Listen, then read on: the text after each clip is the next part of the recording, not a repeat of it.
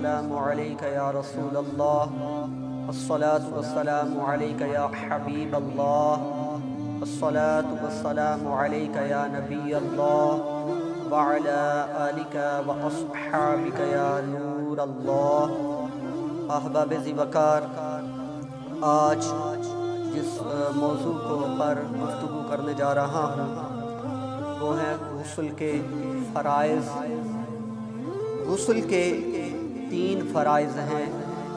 غسل کا پہلا فرض، کلی کرنا۔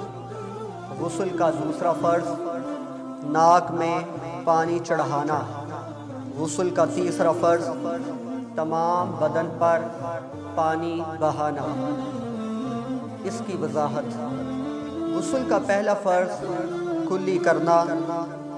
منہ میں تھوڑا سا پانی لے کر بچ کر کے ڈال دینے کا نام کلی نہیں، بلکہ ہر پرزے، گوشت، ہوٹ سے حلق کی جڑ تک ہر جگہ پانی بہ جائے۔ اسی طرح داڑوں کے پیچھے، گالوں کی تہ میں، دانتوں کی کھڑکیوں میں، اور اسی طرح جڑوں اور زبان کی ہر کروٹ پر، بلکہ حلق کے کنارے تک پانی بہے۔ روزہ نہ ہو تو گرگرا کرنا، یہ بھی آقا دو جہاں پر حبیب علیہ السلام کی سنت مبارکہ ہے۔ دانتوں میں چھالیا کے دانے یا بوٹی کے ریشے وغیرہ ہو تو ان کا چھڑانا ضروری ہے۔ ہاں اگر چھڑانے میں ضرر ہو یعنی نقصان ہو، یہاں تک کہ اتنا نقصان ہو کہ مسوڑوں میں زخم ہونے کا خدشہ ہو تو پھر وہ معاف ہے۔ غسل سے قبل دانتوں میں ریشے وغیرہ محسوس نہ ہوئے اور رہ گئے۔ نماز بھی پڑھ لی۔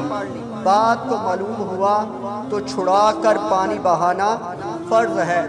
پہلے جو نماز پڑھی وہ ہو گئی۔ دانت مسالے سے جمایا گیا یا تار سے باندھا گیا۔ اور تار یا مسالے کے نیچے پانی نہ بہے تو معاف ہے۔ جس طرح کی ایک کلی غسل کے لیے فرض ہے، اسی طرح کی تین کلیاں وضو کے لیے سنت ہے۔ غسل کا دوسرا فرض ہے ناک میں پانی چڑھانا۔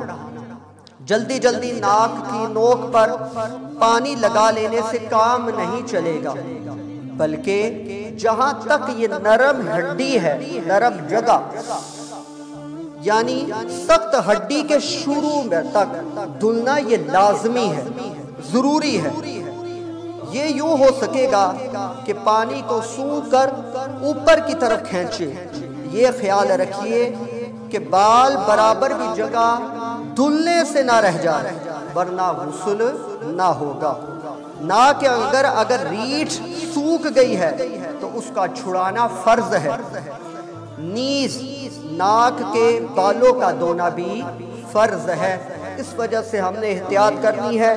اس طرح چلو میں پانی لیتے ہوئے، ناک کرتے ہوئے، آگے کرتے ہوئے تھوڑا سا سونگے تاکہ نرم ہڈی تک پانی پہنچ جائے اور یہ فرض بھی ادا ہو جائے۔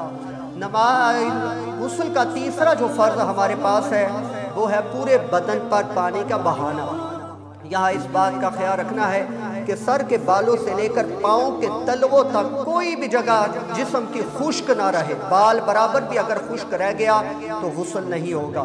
ان میں کئی چیزوں کا خیال رکھنا ہے۔ ان میں پہلی چیز، یہ جو کانوں کے اندر والا حصہ ہے۔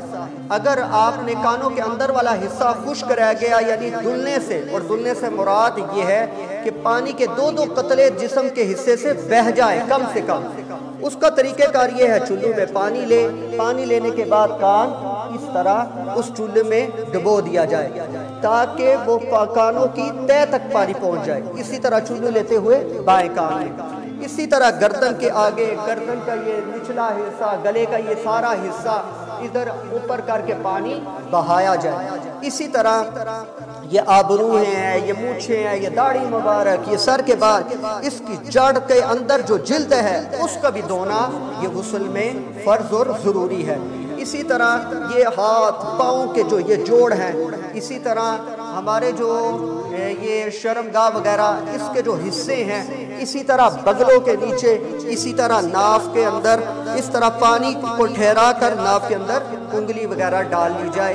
تو یعنی جسم کے جتنے بھی جوڑ ہیں، سب پر پانی کا بہانا یہ فرض ہے اور یہ ضروری ہے۔ اور جتنی احتیاط ہو سکے انسان احتیاط کرنی ہے۔ صرف اتنا نہیں کہ شاور کے نیچے ایک منٹ کے لیے کھڑے ہو گئے اور چلو غسل ہو گیا، بلکہ احتیاط کے ساتھ ہر جسم کے حصے پر پانی کا بہانا یہ فرض ہے۔